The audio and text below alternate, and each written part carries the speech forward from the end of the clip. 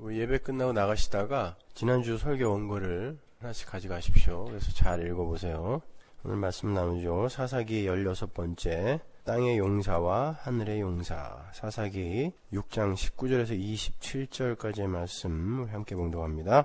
기드온이 가서 염소 새끼 하나를 준비하고 가루 한 에바로 무교전병을 만들고 고기를 소쿠리에 담고 국을 양푼에 담아서 상수리 나무 아래 그에게로 가져다가 드림에 하나님의 사자가 그에게 이르되 고기와 무교전병을 가져 이 반석 위에 두고 그 위에 국을 쏟으라. 기드온이 그대로 하니 여호와의 사자가 손에 잡은 지팡이 끝을 내밀어 고기와 무교전병의 댐에 불이 반석에서 나와 고기와 무교전병을 살랐고 여호와의 사자는 떠나서 보이지 아니한지라. 기드온이 그가 여호와의 사자인 줄 알고 가로되 슬프도 소이다. 주 여호와여 내가 여호와의 사자를 대면하여 보았나이다 여호와께서 그에게 이르시되 너는 안심하라 두려워 말라 죽지 아니하리라 하시니라. 기드온이 여호와를 위하여 거기서 단을 쌓고 이름을 여호와 살롬이라 하였더라. 그것이 오늘까지 아비에셀 사람에게 속한 오브라에 있더라. 이날 밤에 여호와께서 기드온에게 이르시되 내 아비의 수소 곧 출련된 둘째 수소를 취하고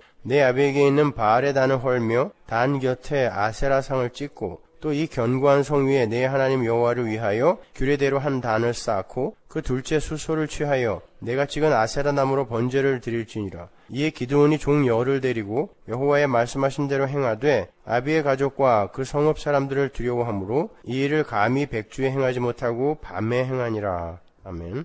우린 지난주까지 기드온과 300 용사의 이야기를 구속사적 측면에서 개괄적으로 정리를 해봤습니다. 결국 기드온의 이야기는 여호와의 사자, 여호와의 진짜 선지자이신 예수 그리스도에 의해서 구원을 받아서 세상으로 보내지는 성도의 이야기였죠. 기억나세요? 계시록의 두 선지자 이야기. 사실상 기도원의 이야기는 여호와의 참 선지자가 이 세상으로 보내주는 두 선지자의 세상 용사됨의 추구를 박살을 내시고 그래서 그들이 바벨론 성과에서 죽는 거죠. 박살 나는 거예요. 그들의 가슴 속에 하나님의 주권과 하나님의 열심과 하나님의 은혜만을 도들새김으로 새겨버리시는 구원의 이야기인 것입니다.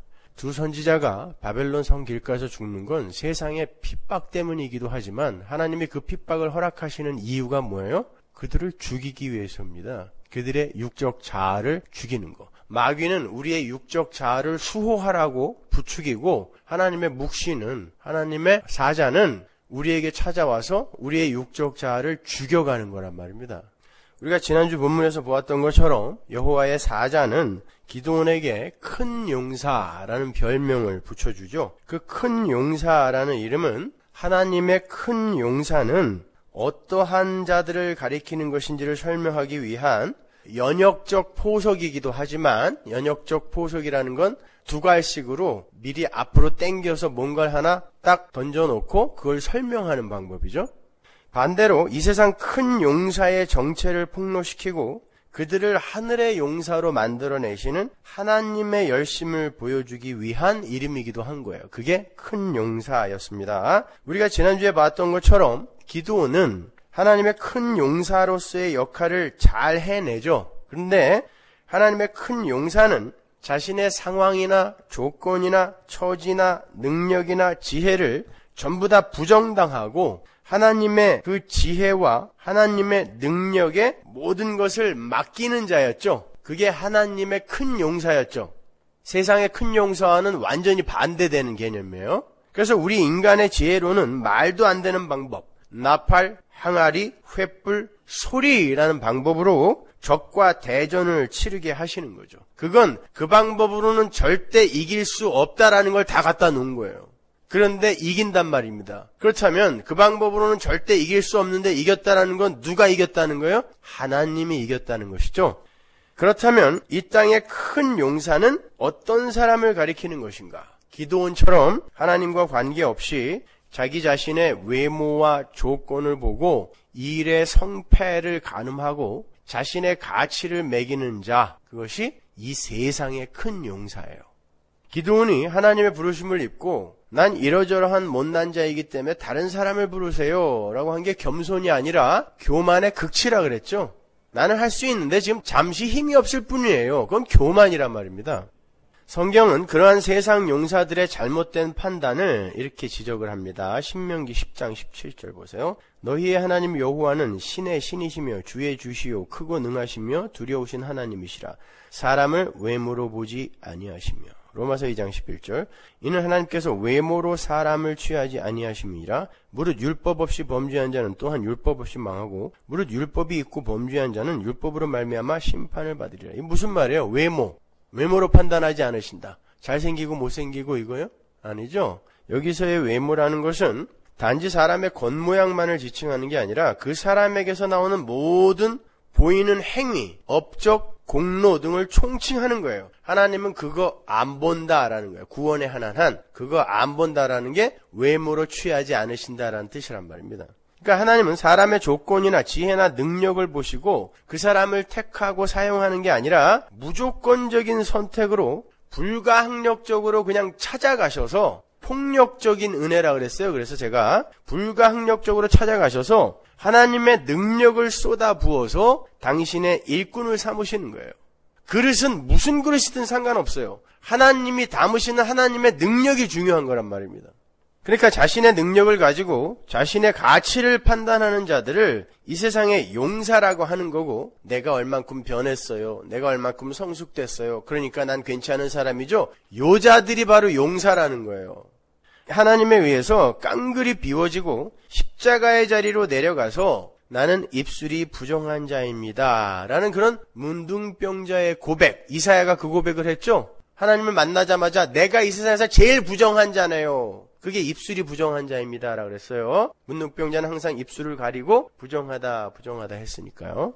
하나님 나라의 삶의 원리는 내가 죽어서 상대방과 하나가 되는 거예요. 세상에 이 역사의 삶의 원리는 뭐죠? 나를 위해서 우리가 하나 되는 거죠. 그게 얼핏 보면 굉장히 기특한 일인 것 같잖아요. 그게 바벨탑 아니었습니까? 우리 각자의 유익을 위해 우리가 하나가 되자 하나님은 그걸 부수는 거예요. 그게 용사거든요. 근데 하나님 나라의 삶의 원리는 뭐냐면 하나가 되는 건 같아요. 근데 힘을 합쳐서 하나가 되자가 아니라 나의 유익을 위해 내가 살기 위해 우리가 하나가 되자 힘을 합치자가 아니라 내가 죽음으로 말미암아 내가 상대방에게 흡수되어 버리는 방법으로 하나가 되는 거거든요. 그게 하나님 나라의 삶의 원리예요. 그래서 십자가는 우리를 구원한 도구일 뿐만 아니라 하나님 나라의 삶의 원리의 표본인 거란 말입니다. 그래서 우리가 이 세상에서 십자가를 실제화, actualize 해서 살게 되는 거란 말이죠. 그건 단순히 훈련이 아니라 하나님 나라의 삶의 원리를 우리가 이 세상에서 이해하고 경험하는 거예요. 체휼하는 겁니다. 하나님 나라는 나 자신의 유익을 위해서 인위적 연합을 하려는 시도를 허락하지 않아요. 그래서 하나님은 기도원이 불러 모은 3만 2천 명을 다 흩어버린 거예요. 니들끼리 뭉쳐서 절대 니들의 유익을 볼 수 없다는 걸 보여주기 위해 뭉쳐버린 하나를 흩어버리고 이건 도저히 안 돼요라는 딱 300을 남긴 거예요. 바벨탑 부순 거랑 똑같은 거예요. 그리고는 하나님이 이 300이 된 그들과 연합되어지는 방식으로 승리가 일어나는 거란 말입니다. 구원의 이야기인 거예요. 사사기는 그렇게 이 세상 용사들을 부정하고 하늘의 용사로서 하나님에 의해 쓰임을 받는 예수 그리스도를 모용하고 있는 그 사사들을 들어서 예수를 설명하는 책인 거예요. 즉 십자가 구원에 관한 이야기란 말입니다. 전체가 다. 제가 신학교 때 김홍전 목사님의 사사기 소고를 세 권으로 된 책인데 글을 읽었었는데 김홍전 목사님의 사사기 소고는 전부 사사를 본받자로 끝나요. 기도원의 이야기도 기도원을 본받자로 끝나요. 저는 그게 아니라고 배웠었거든요. 반면에 박영선 목사님은 사사들을 전부 구원 그 즉각성과 점진성이라는 책이 있죠. 꽤 유명한 책인데 하나님의 열심 다음으로 유명한 책인데 거기서 사사기를 몇 개의 에피소드를 다뤘는데 그분은 사사를 쪼다로 만드는 데는 성공하셨는데 그걸 예수로 연결시키는 데는 실패하셨어요. 사사는 쪼다로 만들었는데 성화로 모든 게 다 결론이 난다니까요. 그러니까 제가 사사기를 강의하려고 보니까 우리 한국 교회에 사사기에 대한 좋은 교과서가 없어요. 그렇다고 이 미국에 있는 책들 중에 사사기에 대한 올바른 뭐 강해가 되어 있는 게 있느냐? 없어요. 예수로 풀려 있는 게 없다니까요.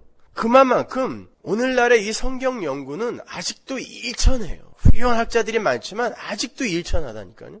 그러니까 여러분이 잘 배워서 잘 배울 뿐만이 아니라 더 연구를 하셔서 어떻게 이 성경이 예수로 일관성 있게 뚫리는지를 잘 배우시고 연구하시고 정리하셔서 또 전하시고 가르치셔야 되는 거예요. 오늘 본문을 보시면 사사 기드온이 여호와의 사자 앞에 예물을 가져오는 장면이 나오죠. 그런데 기드온이 가져온 예물이 뭐예요?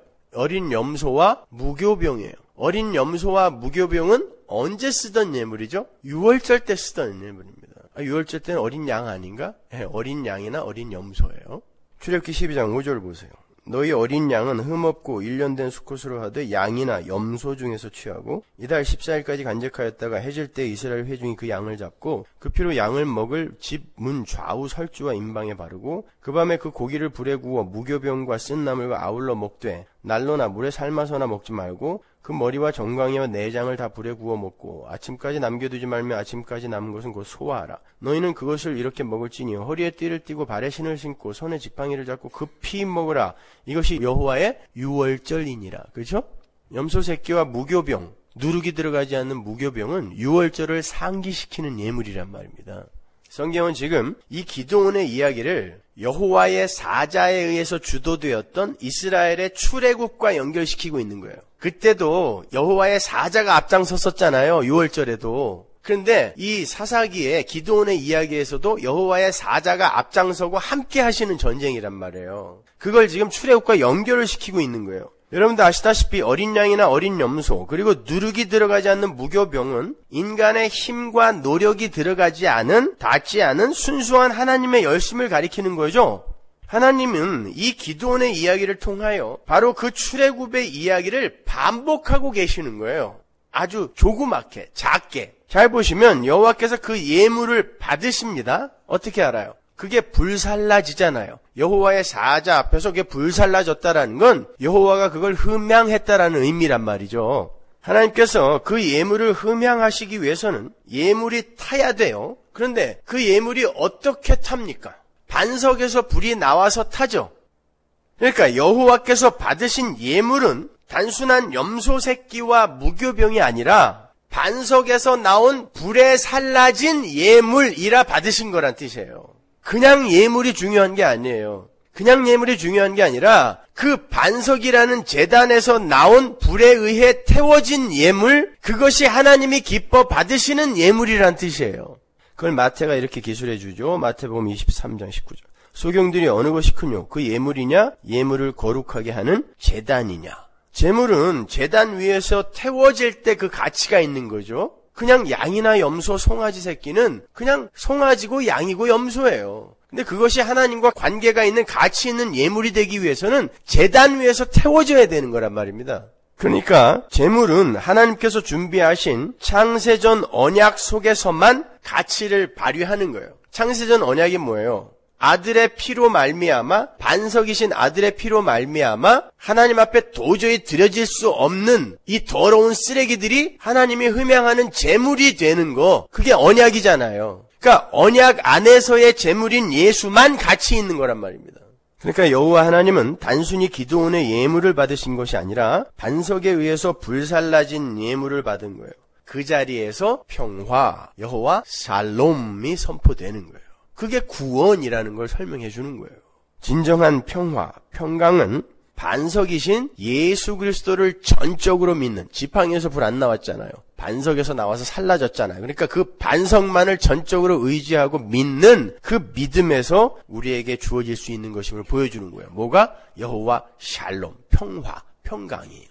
거기에서 불을 뿜은 반석은 히브리어로 쭈루예요. 쭈루. 그 단어는 보호하다, 감싸 안다, 품어 안다라는 뜻을 가진 동사 쭈루 짧은 거예요. 단음. 쭈루에서 파생된 것으로서 바위에 이렇게 움푹 파인 곳 있죠. 바위에 움푹 파인 곳 혹은 바위 틈 혹은 피난처라는 뜻을 가진 그런 단어예요. 그 단어가. 그 단어는 세라라는 단어와 혼용되어 쓰이는데 뜻은 같아요. 그리고 같은데 막 혼용되어 쓸 수 있어요. 이스라엘이 광야에서 물이 없어서 목말라 죽을 지경이 되었을 때 반석에서 물이 나와서 죽어야 할 그들이 살아나죠. 그때 쓰인 그 단어가 똑같이 반석, 쭈루예요. 출애굽기 17장 6절 보세요. 내가 거기서 호렙산 반석 위에 너를 대하여 서리니 너는 반석을 치라. 그것에서 물이 나리니 백성이 마시리라. 모세가 이스라엘 장로들의 목전에서 그대로 행하니라. 오늘 본문에서는 반석에서 불이 나오는데 그러므로 말미암아 죽어야 할 이스라엘이 미디안의 손에서 건짐을 받잖아요. 반석에서 불이 나오는데 여기서는 물이 나오죠. 결론적으로 말씀드리면 물과 불은 같은 거예요. 신약에서도 물과 불을 마혼용해서 쓰잖아요. 아울러 모세가 영광의 하나님 앞에서 죽지 않고 살아난 곳도 바로 그 반석, 틈이에요. 반석, 똑같은 단어예요. 출애굽기 33장 21절 여호와께서 가라사대 보라 내 곁에 한 곳이 있으니 너는 그 반석 위에 섰으라 내 영광이 지날 때에 내가 너를 반석 틈에 두고 내가 지나도록 내 손으로 너를 덮었다가 그 반석 틈에 안 들어가면 어떻게 되는 거예요 모세는 여호와의 영광 때문에 죽습니다 죄인이기 때문에 죽어야 할 자가 반석에 의해 보호를 받는 살아나는 거예요 주루에 의해서 잘 보시면 그 반석이라는 게 죽어야 할 것들을 보호하고 살려내는 역할을 하고 있죠 물도 내고 보호해서 감싸 안고 그죠? 사사기 15장에서 삼손이 블레셋 사람들을 크게 도륙하고 숨었던 곳도 바위 틈, 반석 틈이에요. 주루. 죽어야 할 삼손이 거기에 숨어서 살아나는 거예요. 바울은 그 반석이 예수 그리스도를 상징하고 있었음을 분명히 밝혀요. 고린도전서 10장 4절 보세요. 다 같은 신령한 음료를 마셨으니 이는 저희를 따르는 신령한 반석으로부터 마셨음에 그 반석은 곧 그리스도시라. 그 반석이 저희를 따라왔다라고 표현을 해요. 반석이 누구? 예수란 말이죠.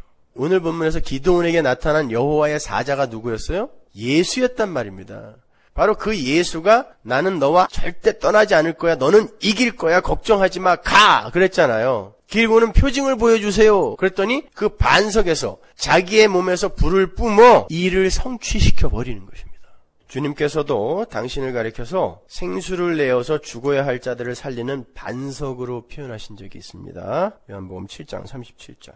명절 끝날 곧 큰 날에 예수께서 서서 외쳐 가라사대 누구든지 목마르거든 내게로 와서 마시라. 나를 믿는 자는 성경의 이름과 같이 그 배에서 생수의 강이 흘러나리라 하시니 이는 그를 믿는 자의 받을 성령을 가리켜 말씀하신 것이라. 여기서는 이제 한 가지 information이 더 첨가돼요. 그죠? 예수님께서 나에게서 물이 나올 거야. 그러니까 나를 마셔라. 이 출애굽기 반석의 이야기가 바로 이 이야기였어요. 이게 antitype인 거예요. 요 이야기였단 말입니다. 나에게서 물이 나올 거야. 나를 마셔야 돼. 그러면 그 물이 너희 안에서 충만히 흘러 넘칠 거야. 근데 그 물이 뭐냐면 성령이라고 이야기한단 말이에요. 성령. 그러니까 성령에 의해 새 창조, 살아나게 될 교회의 이야기가 바로 요 이야기라는 것이죠. 그런데 성경은 성령을 종종 불로 표현하잖아요. 불의 혀 같은 것이 이렇게 묘사를 하기도 하고 불로 종종 표현이 돼요. 그러니까 본문의 반석과 오늘 본문의 반석과 그 반석에서 터져 나온 불은 뭘 가리키는 거예요? 예수 그리스도와 그분의 십자가 희생으로 말미암아 교회에게 주어지게 될 성령을 가리키는 거예요. 그 그림은 예수 그리스도와 성령에 의해서 도저히 자격이 없는 교회가 하나님이 기뻐 받으시는 예물이 된다는 은혜의 복음을 그려내고 있는 거예요. 십자가인 것입니다. 반석이 맞아서 물을 내고 반석이 맞아서 물을 내죠. 반석의 순환이죠. 십자가인 거예요. 맞아서 물을 내요. 죽어야 할 자가 살아날 수 있는 물을 내요. 그리고 그 물이 죽어야 할 자들을 살려내죠. 그리고 그 물이 성령의 불로써 교회를 창조해내는 것이라는 이새 창조의 내러티브가 다 하나로 이렇게 꿰어지세요? 그 이야기 하는 거예요. 오늘 본문도. 그것은 이사야서에서도 동일하게 예언이 되고 있어요. 이사야서 55장 1절.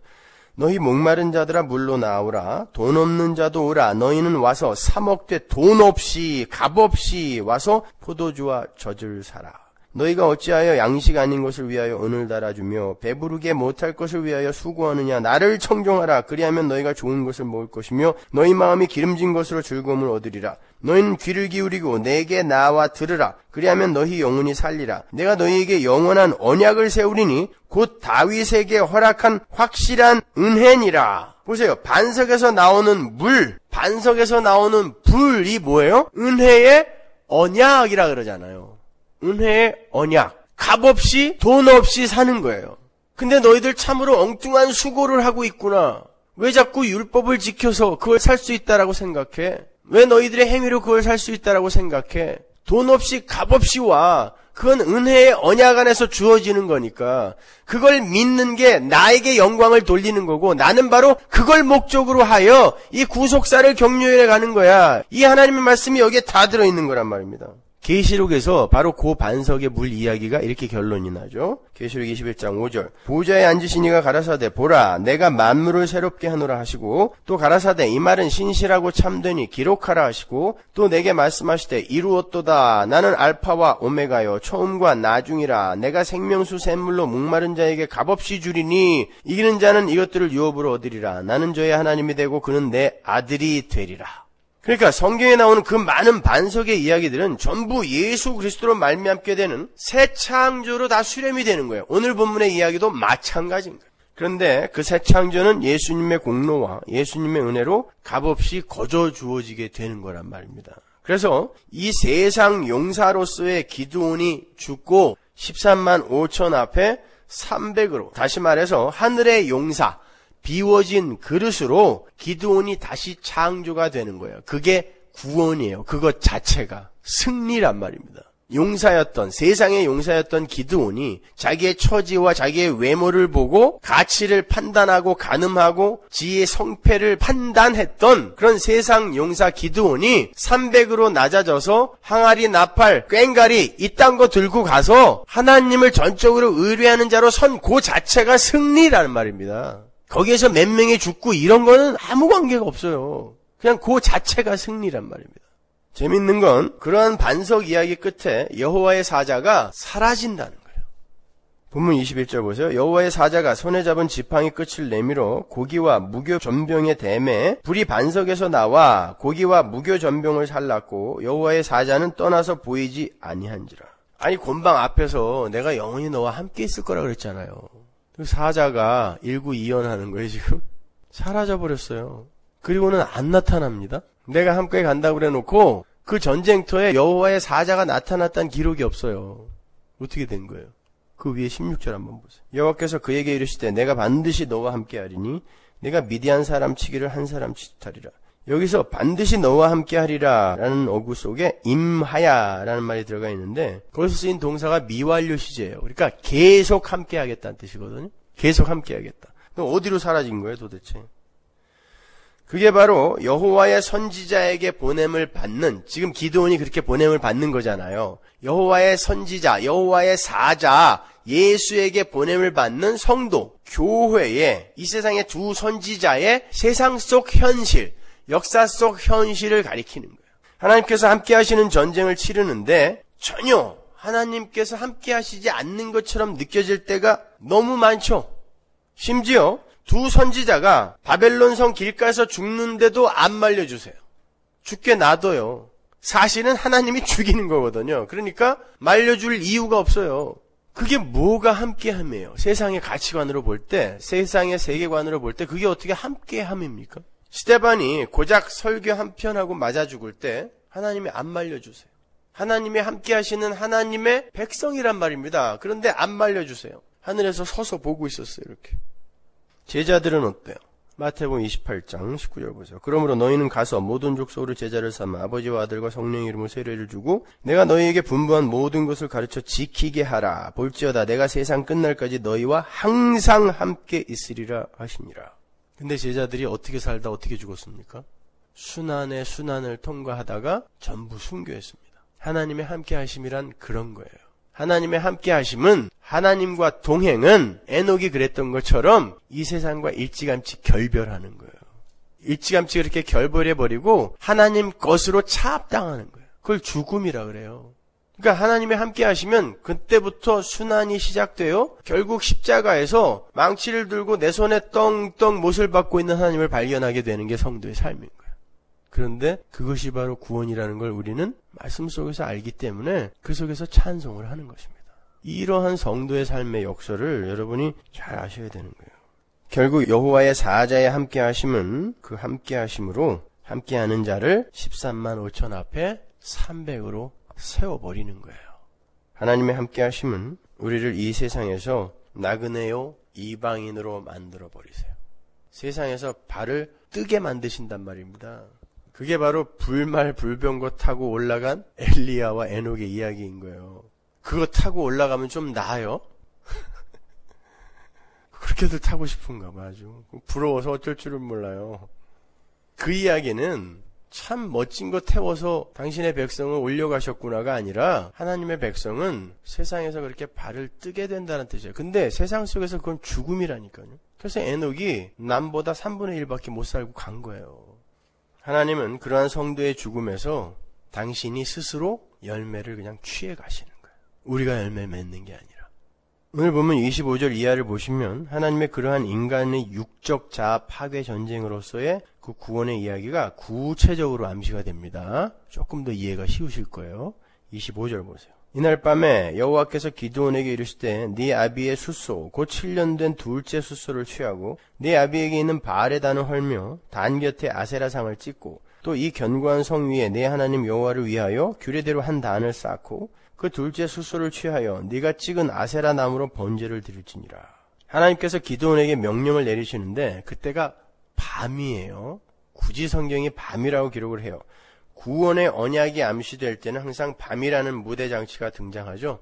빛이신 예수님이 이 땅에 오시기 전에 400년 암흑기가 펼쳐지잖아요. 그거는 예수라는 빛을 더 오롯이 드러내기 위한 하나님의 장치인 거예요. 밤인 곳에 빛이 와서 그걸 빛으로 끌어당기는 거. 저녁이 되며 아침이 되니 이게 날이다. 라고 이야기한 창세기의 그 창조의 날의 이야기가 바로 그 이야기예요. 하나님의 창조는 저녁인 곳에 하나님의 빛이 가입을 하여 그걸 아침으로 만들어내는 것이다라는 것을 매 날마다 보여주는 거예요. 그게 창조예요. 저녁이 되며 아침이 되니. 그러니까 지금 25절 이하에서 기드온에게 내려지는 명령은 밤인 기드온이 또 밤인 이스라엘이 아침이 되는 방법이요. 그 과정의 모형이라 할 수 있는 거예요. 잘 보세요. 하나님은 먼저 기드온 아버지 집에 숫소를 잡으라 그러죠. 거기에 라카후라는 단어가 쓰이는데 그 단어는 잡아 죽이라는 의미의 단어예요. 잡아 먹으라도 아니고 잡아서 제물로 드려라도 아니고 잡아서 죽여랍니다. 여러분 그때가 어떤 때입니까? 우리 앞에서 봤잖아요. 미디안이 수시로 쳐들어와서 곡식을 전부 걷어가고 가축을 전부 뺏어갔기 때문에 아니 이 기도원이라는 사람이 포도주 틀에서 타작을 그냥 칼로 나다를 조금씩 까서 먹는 그런 시절 아니에요. 근데 이때 기도원 아버지 집에 숫소가 있었다라는 것도 기적이지만 하나님은 그걸 죽이라고 한다니까요. 일하러 가는데 잡아서 먹고 튼튼한 배로 가라 이것도 아니고 죽여 없애라요. 숫소를 죽여 없애라. 이스라엘 사람들에게 있어서 소는 항상 가족의 생계와 생존을 지켜주는 것으로 여겨졌던 거예요. 이스라엘뿐만 아니라 당시 고대 시대 때의 소는 그런 존재였어요. 엘리사가 엘리야의 부름을 받고 엘리야를 따라갈 때 소를 잡고 쟁기를 불에 태워버리죠. 그거는 하나님의 백성이 하나님을 좇게 될 때 무엇을 끊어내야 하는지를 보여주는 모형적인 이야기였거든요. 소예요, 그게. 그 존재 자체가 죽는 거예요. 엘리사라는 존재 자체가 소를 죽이는 그 소의 죽음 안에 동참하는 거예요. 구약은 하나님을 따르기 위해선 그렇게 이 존재가 하나님에게 바쳐지는 형식으로 율법을 지키는 방식으로 그렇게 되어졌단 말이에요. 근데 신약 때는 예수님이 뭐라 그래요? 야 뒤돌아보지 마 가지 마 그러죠. 야 쟁기를 잡고 왜 뒤를 돌아봐? 이제는 내가 소가 되어 제물로 바쳐졌기 때문에 엘리사처럼 이제 다시 소 바칠 필요 없어. 그 이야기하는 게 거기서 인용된 이야기란 말입니다. 예, 소는 그런 존재예요. 나예요. 내 생명이에요. 내 가족의 생존을 대표하는 거예요. 그걸 죽이라고 하는 거예요. 목시서 속에서도 네 짐승이 등장하면 항상 거기에 소가 등장하죠. 하늘의 왕 독수리, 맹수의 왕 사자, 가축의 왕 소예요. 그리고 인간. 네 짐승이란 말이죠. 그러니까 소는 그렇게 당시 고대 시대 때 있어서 한 가족의 생명과 생존과 그리고 그 개인의 생명 그걸 상징했다고 보면 돼요. 육적 자아, 그 죽이라는 거예요. 그게 바로 승리라는 걸 보여주는 거예요. 죽여라. 그런데 그 소가 어떤 소냐면 7년 된 소예요. 왜 또 7년 된 소예요? 하나님이 구체적으로 7년이라고 이야기했단 말입니다. 그 7년이라는 단어는 이 기도원의 이야기가 시작되는 첫 절에서 나오는 단어예요. 가볼까요? 1절 이스라엘 자손이 또 여호와의 목전에 악을 행하였으므로 여호와께서 7년 동안 그들을 미디안의 손에 붙이시니 이스라엘이 여호와의 목전에서 악을 행함으로 말미암아 7년 동안 미디안의 손에 붙여졌대요. 그렇다면 7년 된 숫소가 함의하고 있는 메시지가 뭐겠어요? 이스라엘의 죄를 가리키는 거예요. 성도의 육적 자아, 이 세상의 옛 몸, 옛 사람, 이게 7년된 수소인 거죠. 이스라엘의 죄가 하나님이 보내신 자에 의해 죽는 거예요. 근데 그가 죽는 게 아니라 거기에 둘째 숫소라는 말이 나오죠 또. 둘째 숫소는 항상 첫째 숫소를 대신했던 거였어요. 레위기에 보면 율법에 보면 항상 첫째에게 무슨 일이 생기면 둘째가 그걸 대신하게 되었어요. 그걸 형사 취수제에서 또 그대로 적용시키죠. 형이 죽으면 차자가 그 자리를 대신하는 거죠. 그러니까 둘째라는 건 항상 대신의 의미를 갖고 있는 거예요. 숫소를 죽이는데 대신 죽는 숫소를 죽이는 거예요. 누구? 예수를 이야기하는 거예요. 예수가 죽고 죽어야 할 기도원과 이스라엘이 살아나는 것입니다. 구원의 이야기인 거예요. 그러니까 하나님께서 지금 기도원에게 내리시는 명령을 통해 보여주려고 하시는 것은 이스라엘의 죄악이 무엇이며 소죠. 그것이 어떻게 도말이 될 것이고 잡혀 죽는 거죠 뭐. 그리고 어떻게 그들이 회복될 것인가. 대신 죽음에 의해. 거기에 대해서 그려주고 있는 거예요. 기도원을 통해 보여줬던 이스라엘의 죄는 하나님을 전적으로 의지하지 못하고 이 세상의 가시적인 힘과 가치를 의존해서 자기들 마음대로 선악과 성패를 판단하고 추측하는 인본주의라는 것이었잖아요. 그걸 부수는 거예요. 왜 니들은 니들의 힘과 능력을 가지고만 늘 판단을 해? 그게 선악과 먹은 자들의 선악 구조 아니야. 너희들은 그렇게 선악을 알고 선악을 판단하면 나에게 죽는다고 내가 분명히 얘기했잖아. 그 이야기 하시는 거예요. 그걸 부수겠다는 것입니다. 근데 기드온이 하나님 앞에서 바로 그 선악 구조로 응대를 했단 말이에요. 그걸 부수는 거예요. 그걸 죽이는 거란 말입니다. 그렇게 인류의 밤 암흑기에 이 세상에 찾아오신 예수님은 우리의 죄가 되셔서 죽으셨어요. 그분의 죽음은 대신의 죽음, 즉 보잘것없고 가치 없는 둘째의 죽음 같은 것이었습니다. 그러나 그분이 진짜 하늘의 장자였던 거예요. 성경은 지금 기도원의 이야기를 통해서 예수의 이야기를 풀어내고 있는 거예요. 성경을 보면 항상 야곱과 에서의 이야기도 그렇죠. 장자의 축복을 받은 진짜 하늘의 장자 야곱. 장자의 축복을 하나님이 줬으니까 그가 장자란 말이에요. 진짜 장자. 근데 그 야곱은 어떻게 살아요? 이 세상에서 가짜 장자인 에서에게 무릎을 꿇는 삶을 살아요. 야복강 이후에 제일 처음 한 게 에서 세상의 장자 앞에서 무릎 꿇은 거예요. 그리고 쪽팔리게 환도뼈 위골되어서 평생 지팽이만 짓고 가야 돼요. 차자의 삶이에요, 그것이. 성도는 이 세상에서 이렇게 차자의 삶을 사는 거예요. 그래서 성경에 나오는 수많은 장자들, 이 인본주의의 관점, 이 선악과 따먹은 선악 구조에 의해서 이게 장자다라고 하는 건 하나님이 전부 유기시키고 말도 안 되는 차자나 연약한 것들을 오히려 장자의 자리로 끌어올려 버리잖아요. 그죠? 그 이야기 하는 거예요.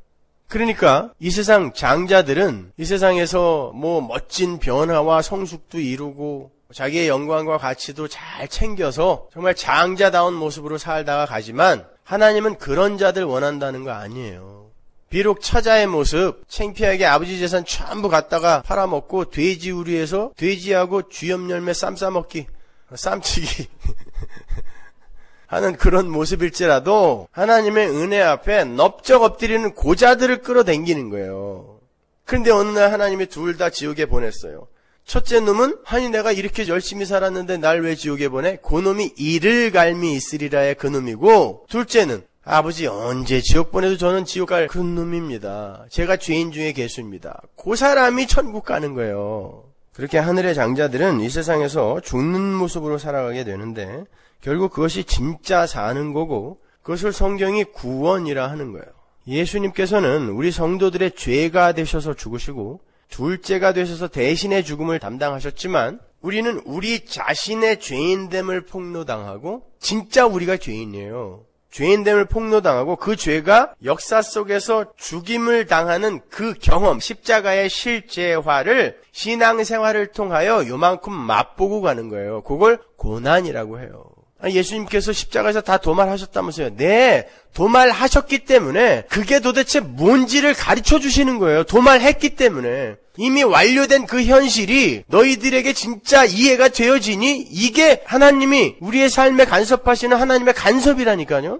아니 완료되었다면 뭐하러 또 우리에게 경험하게 해줘서 모르니까요. 모르니까 오죽하면 성령이 오셔서 죄에 대하여 의에 대하여 심판에 대해서 가르치러 오셨다고 하시겠어요. 모르니까. 근데 그걸 가르치기 위해서는 십자가가 실제화되어 나타나야 될 거 아닙니까?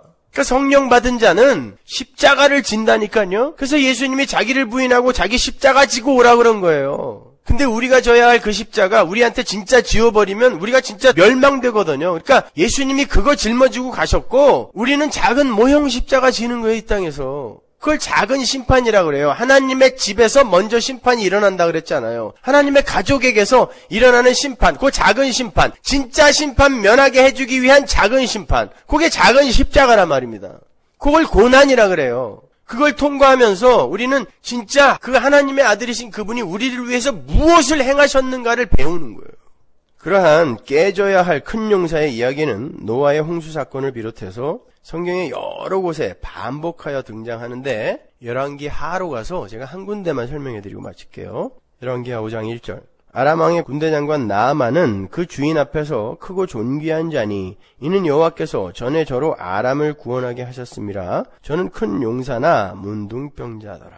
여러분이 너무나 잘 아시는 문둥병자 나만 장군의 이야기입니다. 나만은 크고 존귀한 자다 그래요. 용사다 그러죠. 큰 용사. 네, 누가 큰 용사를 만들어 줬다 그래요? 여호와께서 여호와께서 큰 용사를 만들어 줬어요. 그래서 용사의 삶을 살고 있습니다. 그런데 개혁 성경에는 빠졌지만 거기에 그러나라는 접속사가 들어가 있어요. 그러나 그는 문둥병자더라. 이 단어가 중요한 거예요. 근데 그런 중요한 걸 쏙 빼먹었어요. 그러나 그는 문둥병자더라. 이 세상에서 하나님이 큰 용사를 만들어줬는데 하나님이 개입하셔서 그렇게 만들어줬대요. 만들어줬는데 그게 바로 문둥병자의 삶임을 가르쳐주기 위한 것이었다를 보여주는 거예요. 그러나 그는 문둥병자였다. 그러면 그 문둥병 하나님의 백성이여 나아만은 신약에도 나오죠. 그는 구원받은 자라고 하나님의 백성을 하나님이 용사의 자리를 올려놓으신 다음에 그게 왜 문둥병인지를 지금 가르쳐 주세요. 그리고 그것이 어떻게 고쳐지는지를 보여주시면서 나만을 어디로 끌고 가는지 한번 보시란 말입니다. 나만은 아람의 군대 장관이에요. 그는 모든 명예, 힘, 권력, 인기 다 갖고 있었던 사람이에요. 오죽하면 아람의 왕이 그 나만 앞에서 좀 벌벌 떠는 것 같아 보이지 않으세요? 병 고치러 간다니까 편지도 써주고 얼른 갔다 와 얼른 갔다 와. 나만은 아람의 왕 같은 존재였어요. 그런데 문둥병이 걸렸어요. 생각해 보세요. 모든 걸 다 가졌는데 단 한 가지 문둥병이 걸렸어요. 코가 문드러지고 손가락이 떨어져 나가고 심지어 눈이 감기지 않아서 왜냐면 문둥병 환자들은 통점이 없어지잖아요. 그 고통이 없으니까 이 눈이 깜빡깜빡함으로 해서 보호를 받는데 이걸 안 하니까 눈이 금방 먼다 그래요. 아니, 이 세상 그 모든 걸 다 갖고 있다 할지라도, 세상의 절반을 갖고 있다 할지라도, 몸에 문둥병 걸린 사람이 행복할까요? 그래도 내가 가진 게 이만큼 많은데, 뭐, 끌어당기는데 손이 뚝 떨어져. 차라리 이거 다 가져가고, 이 문둥병 낫게 해주세요. 안 그러겠습니까? 우리가 바로 그 고백을 해야 하는 자들이란 말이에요. 근데 우리는 우리가 걸린 질병이 얼마나 무서운 것인지를 모른다는 게 문제예요, 이게. 우리가 바로 그 사망의 병, 죄의 병, 문둥병보다 억만 배 더 무서운 그 병에 걸려 있단 말입니다. 그렇다면 이 세상에서 내가 가진 모든 걸 다 지불해서라도 거기서 빠져나와야 된다라는 그 마음이 우리에게 있어야 되는데 그건 아랑곳하지 않고 자기의 소유를 누리고 그 문둥병이 걸린 몸에다가 이것저것 치장하고 그러는 데에만 관심을 갖고 있는 거죠. 여러분, 이 모든 인류는 이 사망이라는 질병을 치유하지 않는 한 절대 그 누구도 단 한 사람도 행복하게 이 세상을 떠날 수가 없습니다. 단 한 사람도. 그게 이 인류와 역사의 현실이에요. 그래서 모든 이들이 인생을 버겁게 생각하는 거예요. 버겁게. 인류는 수많은 해결책과 방법을 내놔요. 교육, 이념, 종교, 이데올로기, 여러 가지 선행체계, 지식체계들의 해결책을 내놓죠. 해답이라고 내놔요. 다 오답인데. 해답이라고 다 내어놓는데 인간들은 계속 사망의 증상 속에서 헤매고 있단 말입니다. 하나님은 그러한 멋들어지고 삐까뻔쩍한 인류가 내어놓은 오답들과는 반대로 아주 초라한 해답을 제시하셨죠. 근데 그 해답은 구유에 와서 정말 보기에도 너무 보잘 것 없고 가난했고 배우지도 못했고 어디로 봐도 이건 해답 같지 않았다. 성경이 그러죠. 근데 하나님이 그 답을 주셨어요. 인본주의에게 그 답을 주셨어요. 인간들이 그 답을 선택했을까요? 안 합니다.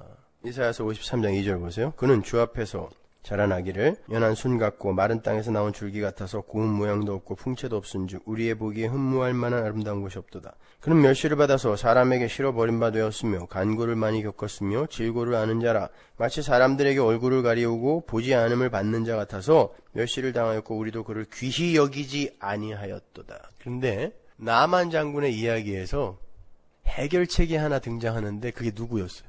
노예였습니다. 그 집에 마누라 시중을 드는 히브리 노예, 소녀였어요. 일국의 왕과 버금가는 나아만이 어떻게 그 노예의 말을 들었을까요, 여러분?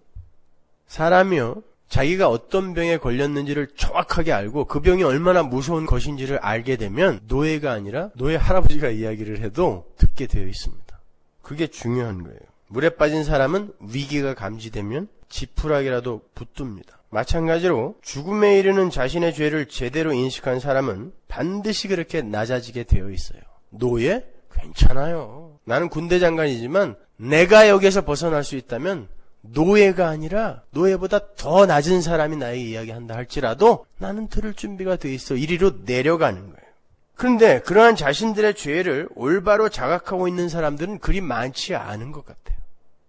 저는 가끔 교인들의 상담 전화를 받거나 아니면 신방을 통해서 교인들의 딱한 사정을 듣게 되는 경우가 있어요. 근데 그분들을 위해서 제가 할 수 있는 건 하나님께 기도하는 것밖에 없어요. 참 목사의 비애죠. 그러나 그것보다 더 파워풀한 것도 없습니다, 사실은. 그래서 새벽에 오면은 새벽 기도하기 전에 제가 한두 시간 정도 시간이 있으니까 그분들을 놓고 무릎을 꿇고 기도를 합니다. 그런데 정작 본인들은 한 번도 기도를 오지도 않고 그냥 봐도 그러려니 하는 것 같아요. 어떻게 되겠지. 모든 인간은 그냥 역사 낙관론에 다 빠져 있는 것 같아요. 어떻게 되겠지. 그러니까 절박함이 없는 거예요. 그런 사람들이 무슨 죄에 대한 절박함이 있겠어요?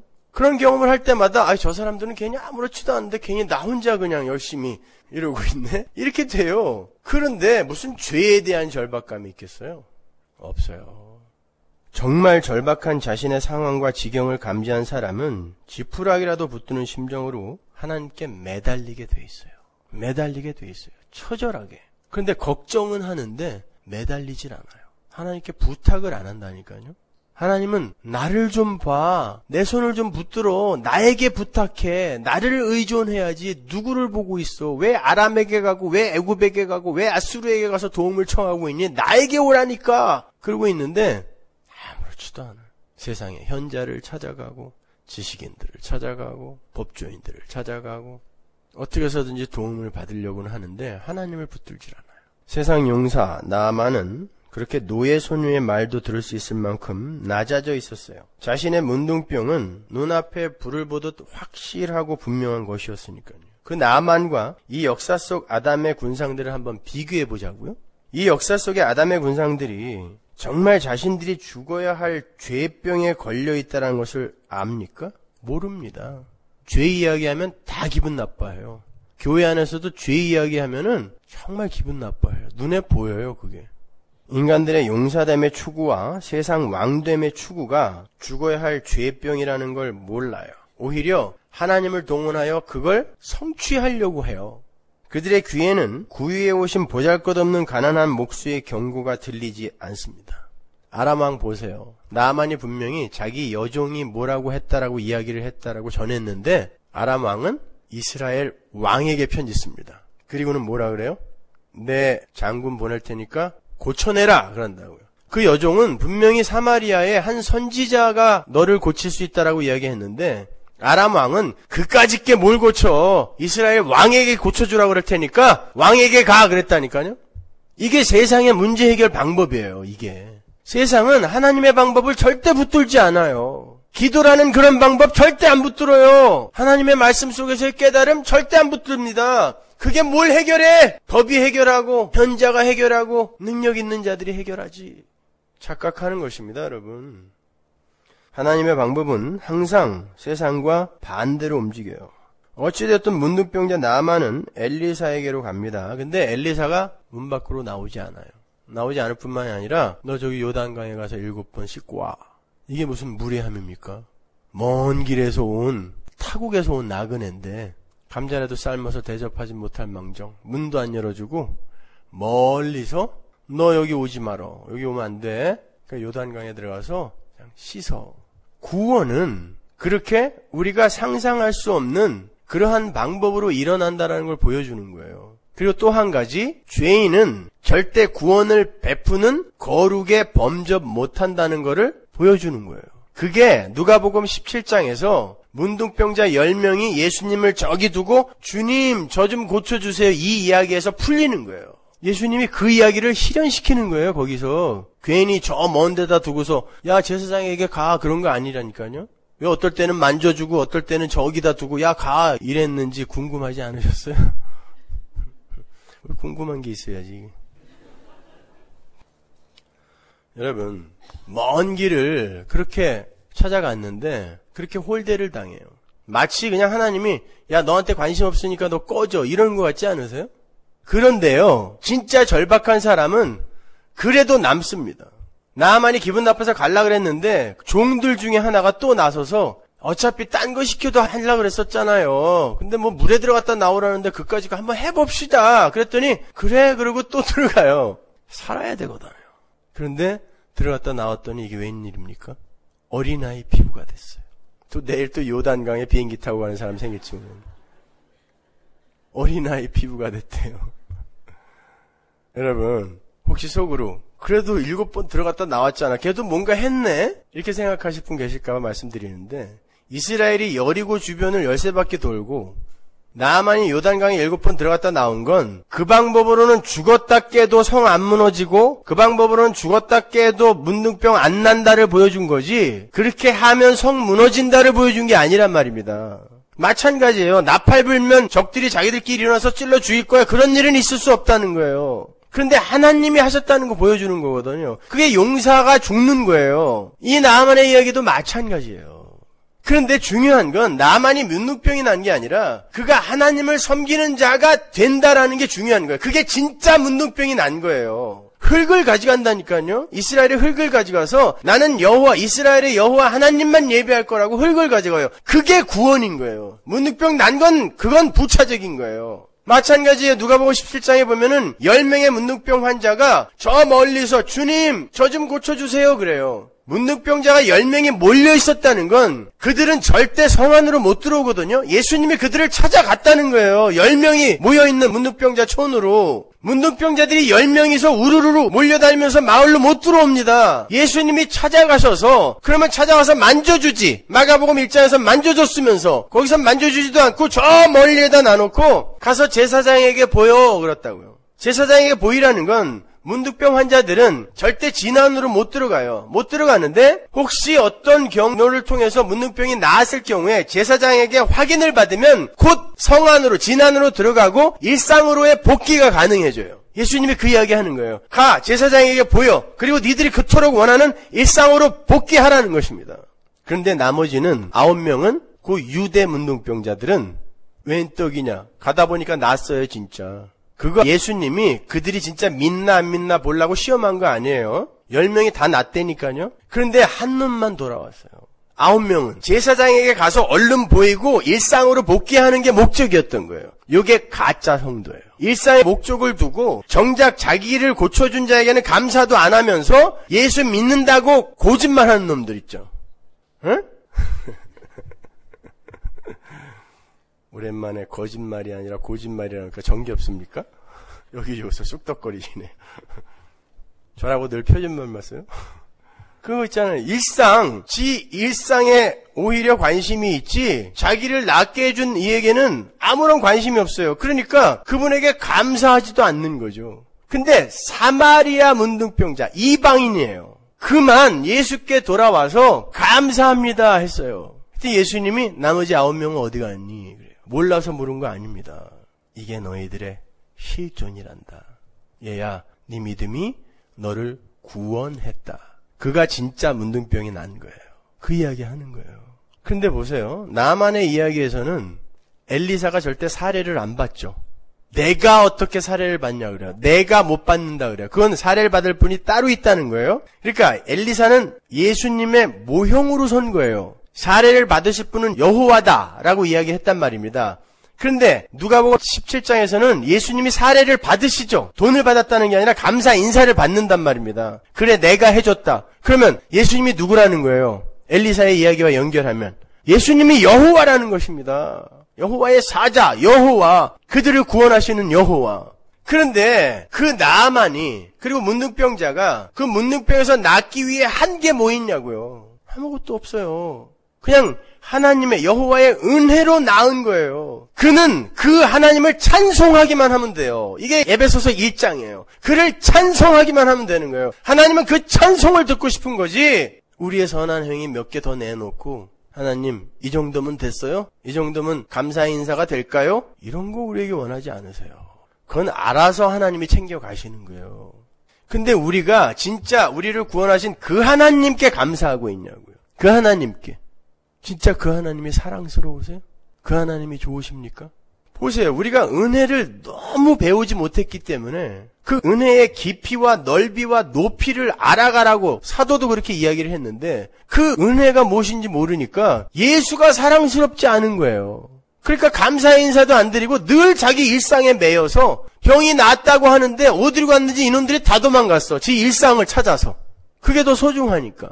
우리는 우리의 구원에 요만큼도 보탤 수가 없어요. 그래서 인간 측에서는 절대 그 어떤 사례도 못 받아요. 나는 내가 칭찬받기 위해서 지금 율법을 지키고 선한 행위를 한다라고 기특한 말을 내놓는 것 같지만 여러분 그게 죄예요. 게하 씨가 나만을 쫓아가서 야 문두병 났는데 어떻게 그냥 가니? 그래놓고 엘리사가 거절한 사례를 지가 받아왔을 때 그 나만의 문둥병이 게하 씨에게 그대로 옮겨갔단 말입니다. 그게 문둥병인 거예요. 그게 죽어야 할 사망의 죄라는 것입니다. 것입니다. 인본주의.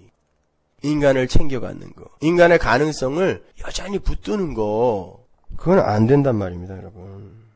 그러니까 마가복음 1장에서는 예수님이 문둥병자에게 손을 얹어서 낫게 한 건 그 문둥병을 예수님이 가져가셨다는 데 초점을 두고 설명한 거고 누가복음 17장에서 멀리 두고서 그를 고친 건 지금 나만의 이야기를 지금 현실화하여 우리에게 설명해 주는 거예요. 원래 문둥병자 사망에 이르는 죄에 걸렸던 자들은 절대 거룩이신 하나님과 가까이 거할 수 없는 자들이다. 그런데 하나님의 은혜로 말미암아 이들이 도저히 상상할 수 없는 방법으로 십자가라는 방법으로 그들이 낫게 되고 그가 거룩이신 예수와 함께 연합이 되잖아요. 나중에는 가까이 와요. 그만 그 이야기 해주는 거예요. 그래서 어떻게 돼요? 그가 천국의 시민이 되는 거예요. 에베소서 2장으로 가보세요. 12절 그때 너희는 그리스도 밖에 있었고 이스라엘 나라 밖의 사람이라 약속의 언약들에 대하여 외인이요 세상에서 소망이 없고 하나님도 없는 자이더니 이거 보세요. 사마리아 사람 외인이죠. 이스라엘 밖의 사람 거기다가 문둥병자예요. 소망도 없어요. 이제는 전에 멀리 있던 너희가 그리스도 예수 안에서 그리스도의 피로 가까워졌느니라 요 이야기 하는 거예요. 문둥병자 이야기는 그러므로 이제부터 너희가 외인도 아니요 손도 아니요 오직 성도들과 동일한 시민이요 하나님의 권속이라. 이 권속이 오이코스 가족이에요. 가족. 근데 이 가족은 어떻게 된다? 하나님의 집이니까 요게. 먼저 심판받아요. 근데 그 심판이 어떻게 나타납니까? 아홉 명은 일상 찾아갔는데 요 사람은 예수에게 집중하느라고 일상을 차압당하는 거야 하나님에게. 뭐 이스라엘 지인, 뭐 일상, 뭐 제사장에게 인정받음 이런 거 하나도 관심이 없어요. 일상을 차압당하는 거예요. 그게 죽음이에요. 하나님의 권소. 빌리포스 3장 20절 보세요. 오직 우리의 시민권은 하늘에 있는지라 거기로서 구원하는 자 곧 주 예수 그리스도를 기다리노니 진안에 들어가지도 못했던 자들이 그 진안으로 들어가서 예루살렘 시민이 되는 것 똑같은 이야기예요. 우리가 하늘의 시민이 됐어요. 여러분의 시민권은 어디 있어요? 하늘에. 근데 그까지 미국 시민권 때문에 윤선이가 지금 아주 그냥 고민하고 있는데 하늘의 시민권자예요 우리는. 이까지 미국 망해가는 미국 그까지 나라 시민권 따면 뭐예요 그거? 하늘의 시민권이 우리에게 있잖아요. 근데 그 권속들은 반드시 죽음을 통과하는 거예요.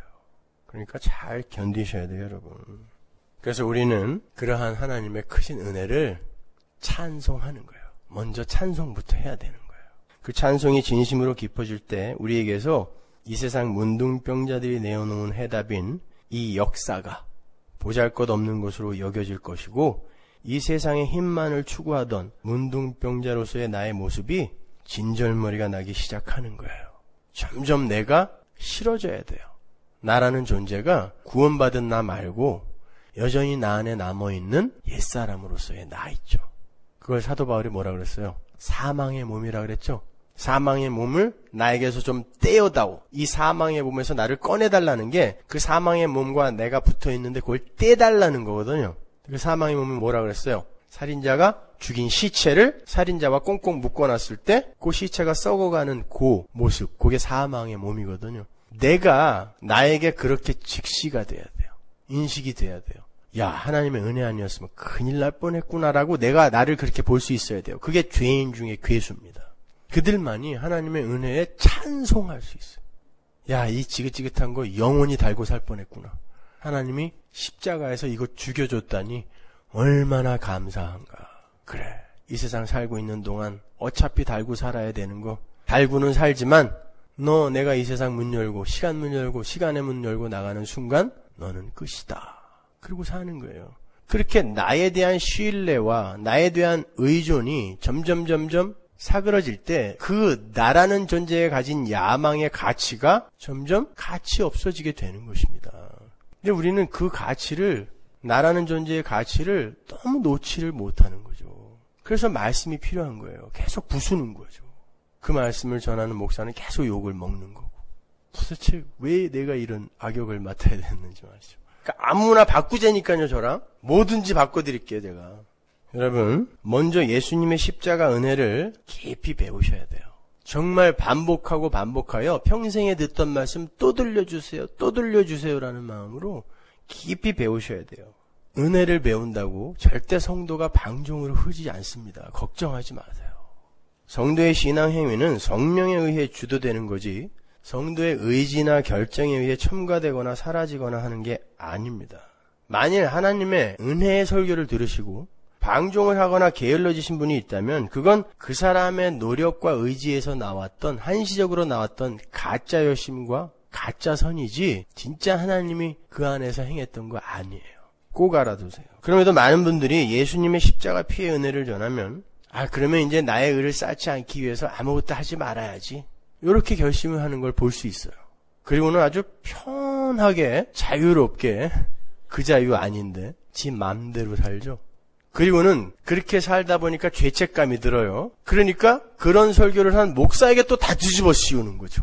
당신이 그런 설교를 했기 때문에 내가 지금 이런 지경이 됐다고? 솔직히 한번 얘기해 볼까요? 진짜 여러분이 가슴에 손을 얹고 한번 생각해 보세요. 이 중에 혹시 그렇게 게을러지신 분이 계시다면 정말 자기 의를 쌓지 않기 위해서 그동안 했던 걸 안 하는 거예요. 원래 하기 싫었던 거예요. 원래 하기 싫었던 거 억지로 하고 있었는데 목사가 그런 거 아니라고 이야기하니까 아이고 다행이다. 그리고 안 하면서 왜 나한테 뭐라 그러냐고요. 아니에요, 솔직히. 여러분, 여러분이 그렇게 억지로 그동안 뭔가를 하고 있었다면 그건 하나님과 원수된 행위를 한 거예요. 하기 싫은 거 억지로 그냥 안 하면은 그 영감탱이가 나를 어떻게 해코지 할까봐 억지로 하고 있었다는 건 나에게 힘만 있으면 나에게 이런 불편한 일을 시키는 그 존재 죽여버릴 텐데 하나님과 원수된 행위라니까요 그게. 그런데 그 행위가 없어졌다면 게을러졌다라고 생각하지 마시고 이게 내 처음 자리 본전이구나. 여기서 다시 시작하는 거예요. 그때 은혜 위에 진짜 예수라는 집이 세워지는 거예요. 그게 고린도전서 3장입니다 근데 겉만 번드르르한 행위들 그냥 공력으로 여기저기 쌓아놓고서 그걸 지 자랑으로 갖고 있다가 그거 아니라고 하니까 그냥 화가 나가지고 막 인터넷에 욕을 욕을 해대고 말이죠. 화가 날 법도 하죠. 순교하겠다는 마음으로 목숨 걸고 지금 일을 하고 있는데 어떤 놈이 나타나서 아니라고 그러고 진짜 그게 네 자랑과 네 만족, 네 인기 챙기기 위해서 하는 거 아니냐고 다시 돌아보라고 막 그러니까 네가 뭔데 나의 행위를 그렇게 가치 없는 것으로 만드냐고 화가 안 나겠어요? 화가 나죠. 그러면 그게 화가 난다라는 건 그 사람이 지금 그 사람의 의지와 노력으로 그걸 하고 있다라는 것인데 그 사람이 그 사람의 의지와 노력으로 그걸 하고 있다라는 건 반드시 그 일의 열매는 그 사람이 챙겨 갖는다는 뜻이에요. 그걸 죄라고 한다니까요. 왜 그게 화가 납니까? 다시 돌아보자는데 어차피 하나님이 하신 일만 하나님이 카운트 하신다고 그러는데 그거 한번 돌아보자 그러는데 왜 화가 나냐고요, 거기에서. 여러분, 분명히 하나님의 말씀은 사람을 둘로 딱 분리시켜요. 분열시킵니다. 구별을 해요. 우리는 하나님의 복음을 가진 우리는 하나님의 선택을 받은 이들에게는 생명의 향기가 된다 그러죠. 그런데 하나님의 선택받지 못한 자들에게는 사망의 향기가 돼야 돼요. 따라서 반드시 하나님의 복음이 진짜 떨어지면 반드시 두 부류가 갈라져야 돼요. 저거 뭐야? 이거와 맞습니다. 우리는 그 예수의 십자가만을 붙들어야죠. 요렇게 둘로 갈라져야 돼요. 그런데 보세요. 착하게 잘 삽시다. 교회 예산의 50%는 항상 구제에 씁시다. 우리 주변에 불쌍한 이웃들에게 교회가 예산을 세워서 전기세 내줍시다. 자, 이런 이야기들을 교회에서 하면 일간지, 세상신문 일간지에 대서특필이 돼요. 야, 참 건강하고 좋은 교회 나왔다. 여러분, 그게 복음입니까? 우리도 그거 하면서 뿌듯하고 세상 사람들을 신문을 통해서 막 칭찬해주고 그 신문 보고 온 세상이 서머나 서머나 이런 이 복음이에요? 사망의 향기는 누구에게 가는 거예요 그러면요? 온통 이 세상에 있는 사람들이 다 구원받은 겁니까? 교회는 그런 거 하는 데가 아니에요. 예수가 누군지 배우고 왜 우리에게 예수가 필요했는지를 배우는 곳이에요. 그러면 보세요. 복음이 떨어졌을 때 진짜 하나님의 백성들이 정말 앞에서 말씀드린 것처럼 나아만처럼 또 그 사마리아 문둥병자처럼 예수 그리스도의 은혜를 알고 내가 얼마나 부족한 자였는지 내가 얼마나 죽어야 할 문둥병자 같은 죄인이었는지를 아는 이어서 세상에 대한 관심도 조금 줄어들고 나에 대한 신뢰와 의존도도 많이 줄어들고 해서 뭐 세상 사람들이 같이 있게 여기는 걸 똑같이 추구하지도 않고 하여튼 열심히 하나님의 백성답게 감사하면서 살고 있었다고 해보자고요. 거기에 십자가 복음이 떨어지면서 십자가 복음이 떨어지면 항상 두 가지의 적용이 떨어질 수 있어요. 어떻게? 여러분, 하나님은 알파요 오메가이십니다. 하나님이 시작이고 하나님이 끝이니까 하나님께 모든 걸 다 맡기세요. 자유하세요. 그분의 은혜만을 꼭 붙드세요. 마치 아무것도 하지 말라는 말처럼 들리죠. 요런 적용과 여러분, 우리는 그러한 하나님의 큰 은혜와 사랑을 받았습니다. 그런데 아직도 우리가 이 세상에 눈을 두고 여전히 세상 사람들과 추구하는 게 똑같다면 어떻게 되겠습니까? 여러분, 우리가 세상 사람들과는 좀 달라야 하지 않겠습니까? 라는 적용이 떨어졌다고 해보자고요. 완전히 다른 이야기인 것 같지만 성도는 그 두 가지 이야기 모두에서 생명의 향기를 받게 돼요. 그가 그걸 하고 있던 못하고 있던 간에 그렇게 하나님의 은혜를 알고 정말 열심히 살고 있었던 사람에게 첫 번째 적용이 떨어졌을 때 그래 맞아. 예수께서 우리에게 그렇게 완료된 구원을 허락해 주셨지. 그래 그러니까 이 세상은 이미 심판받은 거야 그런데 뭐 얘가 여기에서 그 세상의 부귀와 영화를 위해서 또 다른 열심과 추구를 내겠어? 그래 하나님 나라 소망하면서 열심히 살자. 계속 가요 그 사람은요. 열심히 사십시오. 하나님의 백성다운 삶을 보여줍시다. 그럼 물론 그래야지. 만약에 못하고 있었어요. 성령 받은 사람인데. 야 하나님 저는 그렇게 큰 은혜를 입었는데도 여전히 이런 모습이군요. 하나님 그래서 예수를 보내셨네요. 무슨 이야기를 해도 그 사람에게는 생명의 향기로 가게 돼 있어요. 유기된 자들에게는 그래? 아무것도 안 해도 돼? 지 맘대로 살아. 열심히 사세요. 그래 열심히 살아야지 그래 놓고 지의로 다 챙겨.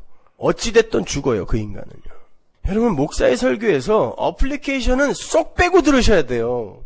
목사가 어떻게 살라고 이야기를 하던 그건 여러분에게 걸림돌이 되는 거예요, 다. 그 걸림돌에 맞아서 가짜들아 나가라! 이 이야기가 적용인 거예요. 진짜 하나님의 백성은 무슨 어플리케이션을 던져도 그걸 생명의 향기로 받아들인다니까요? 근데 요즘 이메일 오는 거 보면 전부 어떻게 살아야 돼요? 언제부터 선행을 행해야 돼요? 언제부터 교회에서 봉사해야 돼요? 언제부터 섬겨야 돼요? 네 맘대로 하세요!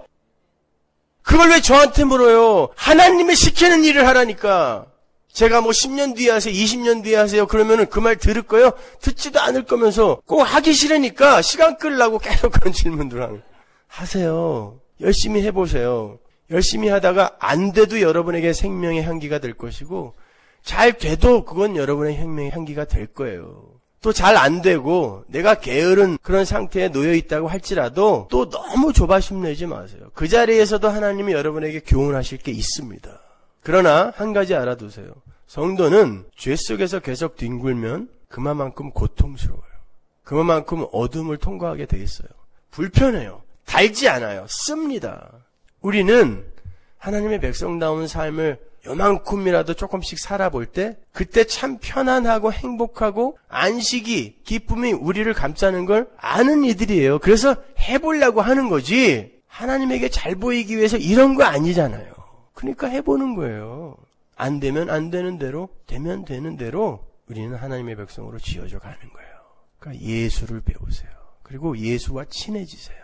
기도하겠습니다.